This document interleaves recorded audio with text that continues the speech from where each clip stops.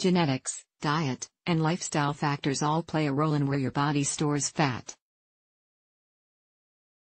And most of your everyday movements like walking and carrying groceries work the front of your arms and your chest. This may make it difficult to know how to tone and target back fat. The idea of spot treating areas of fat on your body with certain exercises is a myth. You'll need to lose overall fat to lose back fat. A combination of a healthy diet, a caloric deficit, and a workout routine that intentionally focuses on your lower and upper back can work together to make your back more fit and strong. How to get rid of back fat To get rid of fat deposits on your back, you'll need to start by creating a caloric deficit. That means that you'll need to burn more calories during the day than you consume. In addition to cutting calories, you'll get rid of back fat more quickly if you focus your exercise routine to target the muscles in your upper and lower back.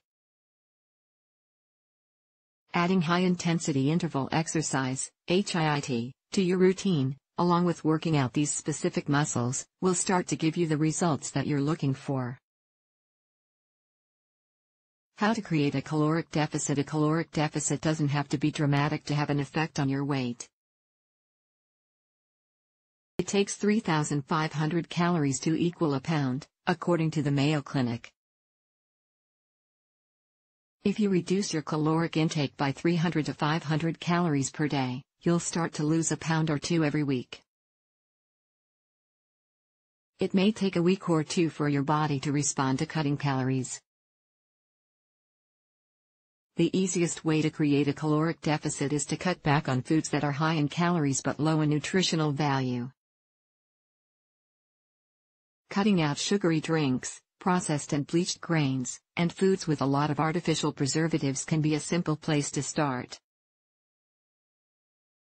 Another way to create a caloric deficit is to beef up your exercise routine. Burning 300 to 500 calories at the gym, in addition to cutting 300 to 500 calories per day from your diet, will double your weight loss results. Diet to get rid of back fat Eating a diet that's rich in fiber and low in sodium can help you trim excess fat and water weight that your body might be storing in your back area. Some of the most weight loss friendly foods include avocados, hard boiled eggs, leafy greens, broccoli and cauliflower, sweet potato, salmon, and tuna, lean chicken breast, fat burning. Exercises for the lower back These exercises target the muscles in your lower back muscles, including your obliques and extensors. The exercises can be done at home or at the gym, with minimal exercise equipment necessary. Reverse hip raise with exercise ball share on Pinterest This low impact exercise is easy on your hips and a simple way to start toning your back. Start by lying with your belly on the exercise ball, your eyes looking at the ground. Your palms should be flat on the floor and your legs can be bent at the knee. Squeeze your glute muscles together and balance on the ball as you press your legs together and up. The ball should remain stable during this movement. Hold this pose for several seconds, then lower your legs. Repeat several times, increasing the length of time you hold the hip raise if you're able to. Side jackknife share on Pinterest This exercise targets your obliques, which are on your abdomen, but also impacts your love handles and lower back area. Lie on your right side with your legs stacked over each other. Put your left hand behind your head. Your right hand can rest wherever you feel comfortable. Squeeze your obliques as you draw your left leg up toward your left arm, which should remain stable on your head. You'll be bringing the bent left arm toward your left knee. Repeat several times before switching to the opposite side. Superman share on Pinterest This exercise named for a superhero works your lower back as well as your glutes. Lie on your stomach, on a yoga mat if you have one. Stretch your body out so that your legs and arms are lengthened. Lift your hands and feet off the ground at the same time. Both your arms and legs should be about 6 inches off the ground. If you can, lift your belly button off the floor and hold the position for several seconds. With control, lower your legs and arms back down before repeating the exercise. Fat burning exercises for the upper back lateral raises with dumbbells share on Pinterest. This easy weight exercise works the muscles right under your neck. And working out with weights can help boost your metabolism all day long. Stand with a dumbbell in each hand, facing forward. You can also modify this movement by doing it from a sitting position. You don't have to use a lot of weight, either, doing lots of reps with lighter weights might be better for toning your back. Slowly raise the weights with your arms spread straight out, until your arms are parallel with the floor. Don't squeeze your shoulders or shrug while you do this. With control, return your arms to your body. Take a breath, and repeat 10 to 12 times for one set. Rowing share on Pinterest a seated cable row will work your back muscles, especially your latissimus dorsi. You can also mimic the motion of a row machine by simply sitting on a bench and using light dumbbells or a resistance band.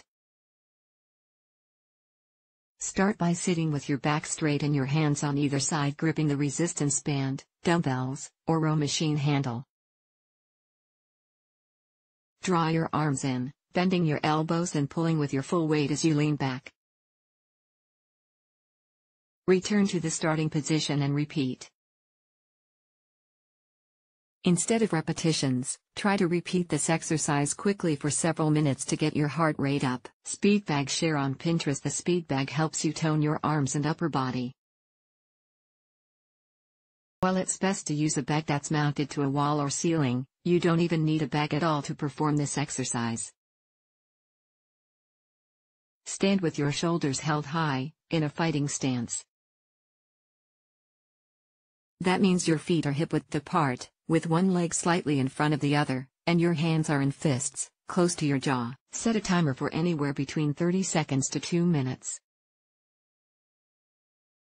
Aim at your bag, or imagine one, with your knuckles facing outward, aim to hit the bag as many times as you can in your chosen time frame, rotating your arms as you do so.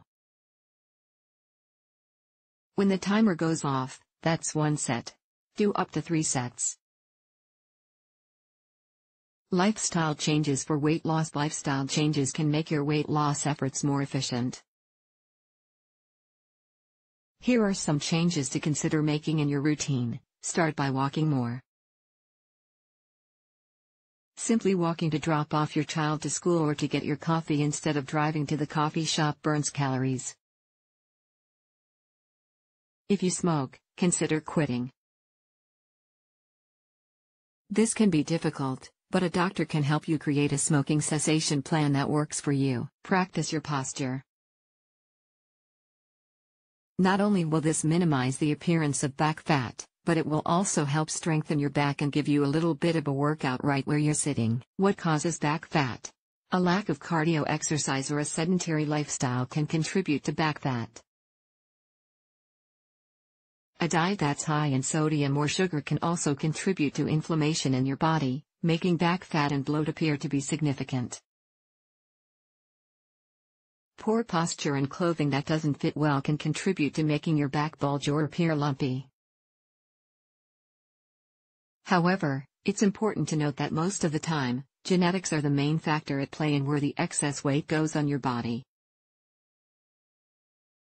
That means that back fat can fluctuate according to the phase of life you're in, your total body weight, your height, and your activity level. Take away It's a myth that you can target just one area of your body to lose weight. But by doing exercises that focus on your back, along with eating a healthy diet and cutting calories, you can tone up that portion of your body. Consistency is the key here. It's also helpful to have a support system, buddy up at the gym or on a weight loss app to give yourself a better chance of success. Remember that every person's body has limitations, and you don't have to see them as flaws. Have patience with the body you have while you work toward your health goals.